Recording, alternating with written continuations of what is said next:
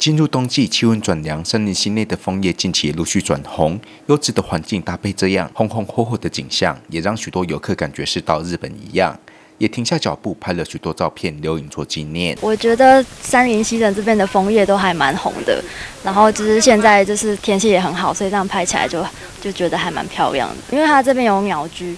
就是搭起来就还蛮日本的感觉，就是如果有朋友就是想要来拍这种枫叶，我就是还蛮推荐，就是山林溪这边，就是今年都开的还蛮不错，非常漂亮，空气又好，然后景色清新。那现在枫叶正红，福寿山也有也有类似的风情，但是这边交通比较近啊，非常的舒服啊，这边的环境一定会再来。三林溪枫叶季的登场，园区内种植了许多品种枫叶，将陆续转红。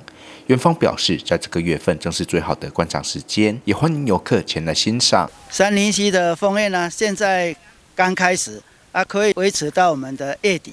啊，目前三林溪所种的枫叶呢，诶，我们现在看到的就是最火红的紫叶树。另外呢，还有我们的台湾原生种的诶这个枫香，以及呢我们的清风。啊，目前呢。诶，台湾数一数二的地方，三林溪也算是其中之一。欢迎各位呢来三林溪赏枫，这个月呢是最恰当的时间。仙苑参门阁特别向民众推荐三林溪枫叶转红的美景，不输日本，邀请民众把握时间前来旅游，好好欣赏。咱三麦溪伊的空气好，风景好，今麦要甲大家报告，咱三林溪的枫叶转红了，啊，咱邀请到咱全国的好朋友。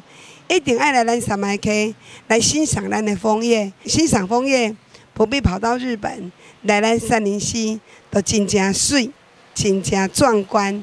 所以，梦个伫遮特别要甲咱的全国乡亲来甲推荐，啊，来咱的三林溪欣赏好风景以外，带着上盖赞的三林西茶伴手礼，啊，等于跟亲朋好友分享。一场和尚风诚挚邀请民众在冬季能够前来南投旅游，像现在这个季节里，县内各地区都有相当别致的景观，一定会是一趟十分美好的旅游体验。